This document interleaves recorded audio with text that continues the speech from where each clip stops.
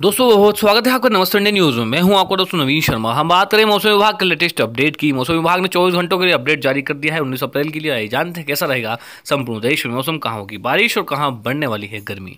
आई जानते हैं इस लेटेस्ट अपडेट को विस्तार से। दोस्तों, वीडियो शुरू करने से पहले करना चाहूँगा, आपने चैनल सब्सक्राइब नहीं किया सब्सक्राइब करें वो भलाई अवश्य दबा लें इससे अपडेट रहे आप देश की सभी कैटेगरी के अपडेट एवं अलर्ट खबरों से। दोस्तों, मौसम विभाग के अनुसार उन्नीस अप्रैल को उत्तर और मध्य भारत में गर्म और शुष्क मौसम की वापसी होगी। साथ ही बिहार और झारखंड में होगी बारिश। दोस्तों, उत्तर भारत में पहाड़ों से लेकर मैदानी राज्यों तक के मौसम को बदलने वाला पश्चिमी विक्षोभ अब आगे निकल चुका है। लेकिन कश्मीर, हिमाचल और उत्तराखंड के ऊंचाई वाले इलाकों में छिटपुट बारिश आज हो सकती है, जबकि श्रीनगर, शिमला और देहरादून सहित अधिकांश शहरों में मौसम शुष्क हो जाएगा। पहाड़ों से होकर उत्तर पश्चिम शुष्क हवाएँ उत्तर में चलेंगी, जो पंजाब, हरियाणा, दिल्ली, राजस्थान और पश्चिम उत्तर प्रदेश में भी पहुंचेगी। इन राज्यों में पहले से ही मौसम सूखा हो गया। तापमान बढ़ने लगा है। दिल्ली, एनसीआर, चंडीगढ़, जयपुर, आगरा समेत ज़्यादातर शहरों में दिन और रात में तापमान ऊपर जाएगा। लेकिन राहत की बात यह है कि लू का प्रकोप जल्द शुरू नहीं होगा। शुष्क उत्तरी पश्चिमी हवाएँ देश के मध्य भागों को भी वो अपनी ओर गिरफ्त में ले लेंगी। कोई मौसमी सिस्टम नहीं है जिससे कि उम्मीद अब की जा सकती है।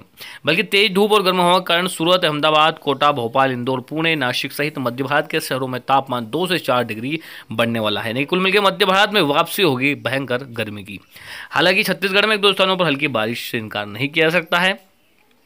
पूर्व में चले तो बिहार से पश्चिम बंगाल और ओडिशा होते हुए तमिलनाडु तक एक लंबा ट्रफ पूरे पूर्वी तट पर बना है। इसके कारण बंगाल की खाड़ी से पूर्वी आर्द्र हवाएँ आएँगी। इसी कारण पश्चिम बंगाल और ओडिशा के शहरों में अगले चौबीस घंटों में बादलों की गरज के साथ बारिश होने का अनुमान है।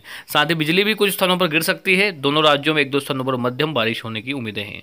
पूर्वोत्तर भारत में असम और अरुणाचल प्रदेश में आज कुछ स्थानों पर बारिश की उम्मीदें हैं क्योंकि यहाँ एक चक्रवाती क्षेत्र जो है बना हुआ है।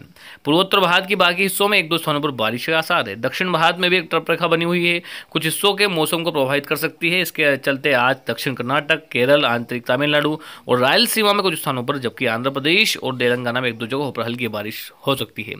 तो दोस्तों तो लेटेस्ट अपडेट उन्नीस अप्रैल का मौसम विभाग का, इसको अधिक से शेयर करें ताकि सब लोग जान सके मौसम विभाग के लेटेस्ट अपडेट और सावधान, सतर्क रह सके। इस वीडियो में इतना ही। फिर आपके लिए उपस्थित होंगे जानकारी के साथ। तब तक लिए दोस्तों, खुश रहिए, स्वस्थ रहिए। नमस्ते, इंडिया।